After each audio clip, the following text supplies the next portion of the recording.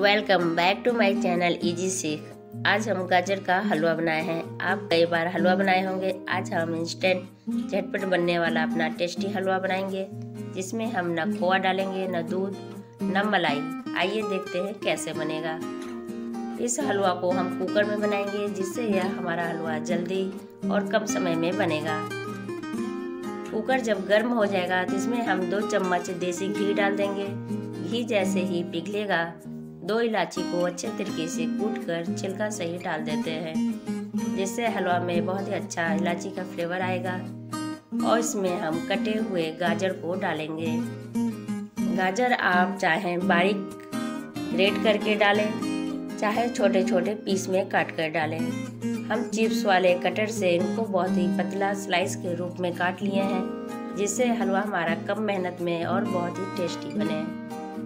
पतले स्लाइस में काटने से यह बहुत ही जल्दी गलेंगे, इसीलिए हम इनको पतला काटे हैं। सभी गाजर को हम कुकर में डाल देंगे और कुछ देर हम घी के साथ भूनेंगे। जब हम कढ़ाई में ग्रेट किए हुए हलवा को बनाते हैं तो उसको हम काफ़ी देर तक भूनते हैं। इनको हमें ज़्यादा भूनना नहीं है, लेकिन हलवा में भी टेस्ट अच्छा आए। उसके लिए इनको हम तीन से चार मिनट भून लेंगे, जिससे गाजर में जो कच्चापन का टेस्ट रहता है, वह निकल जाए और हलवा में, बाद में उसका टेस्ट ना आए।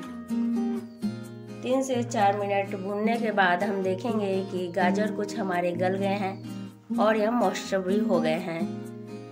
अब इसमें हम आधा कप पानी डालेंगे। आप इसमें इस समय इतना ही दूध भी डाल सकते हैं, लेकिन कभी कभी दूध हमारा कुकर में फट जाता है।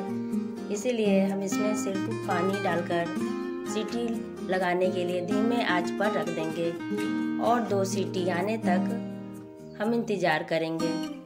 जब इसका प्रेशर निकल जाएगा, तब हम कुकर का ढक्कन खोलेंगे और देखेंगे, गाजर हमारा अच्छे से गल गए हैं। पतला काटने के वजह से यह बहुत ही जल्दी और बहुत अच्छे से मैसी हो जाते हैं।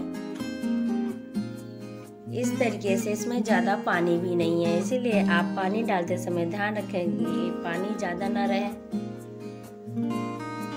और इनको हम अच्छे से मैश करते हुए चला लेंगे। आप चाहें तो मैसर से मैश करें, नहीं तो आप इस समय कलछल ले लें और हलवा को चलाते भी रहें और मैश करते भी रहें। और मीठा के लिए इसमें हम 100 ग्राम चीनी डाल देंगे और चीनी को हम गाजर में मिक्स करेंगे।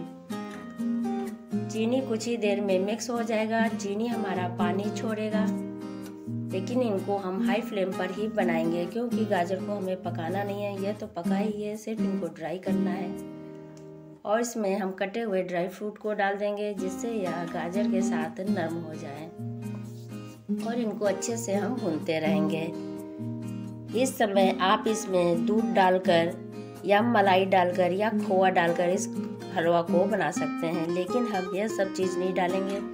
फिर भी हलवा हमारा टेस्टी हो और देखने में बाज़ार जैसा खोएदार हो, उसके लिए इसमें हम एक चीज़ डालेंगे, जिससे हलवा हमारा टेस्टी तो बनता ही है, लेकिन बहुत ही कम समय में भी यह बहुत अच्छे से तैयार हो जाते हैं।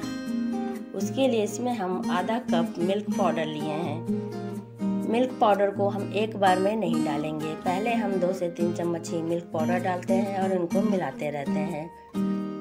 इस तरीके से हम मैश करते हुए मिलाएँगे, जिससे मिल्क पाउडर मिक्स भी हो जाते हैं और छोटे छोटे गुटके में भी रहेंगे, जो बाद में देखने में हमारे खोए के टेक्सचर के तरह लगेंगे। अगर बड़े बड़े गुटके हो जाएँ तो उनको आप मैश करते रहें, जिससे गुटका हमारा छोटा छोटा पीस में बना रहे।